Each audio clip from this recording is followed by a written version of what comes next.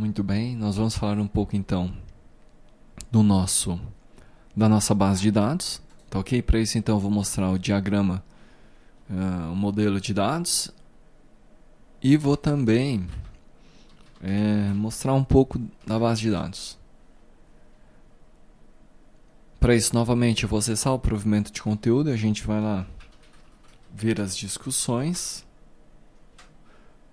Ou melhor, no tópico RP Gestão de Compras, a gente vai é, entrar no fórum. Melhor, vamos ver a imagem, né? A gente pode entrar no fórum também para ver o DER. Aqui vai, nós vamos ter a imagem. E esse aqui é o modelo de dados, tá? Então, para contemplar aquele fluxo que eu tinha falado inicialmente é, durante a apresentação do artigo de requisição, compra, é, cotação, pedido e assim por diante. Então a gente tem esse modelo de dados, ele tem estas tabelas, ok? Tem uma cotação, pedido de compra, tipo de requisição, requisição de compra,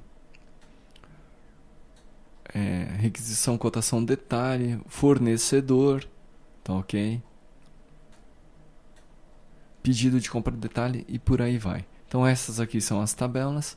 Obviamente que é, posteriormente é interessante que você analise com calma essa imagem, o próprio modelo de dados. Eu vou agora mostrar o banco de dados, essas tabelas no banco de dados. Então nós vamos ter, junto com diversas outras tabelas, então a gente tem aqui o cotação compra, cotação compra detalhe, cotação pedido detalhe. Nós temos também as tabelas de requisição compra, requisição compra detalhe, e que já tem aqui elas já têm alguns dados né, de teste.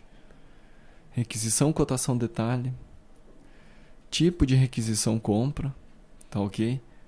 E por aí vai. Então a gente tem algumas tabelas e que estão que a gente é, chegou nesse modelo de dados por meio de uma ampla discussão realizada no ambiente de EAD, tá ok? Se você tiver dúvida, então peço que consulte estas discussões aí para entender como é que esse modelo de dados foi hum, elaborado.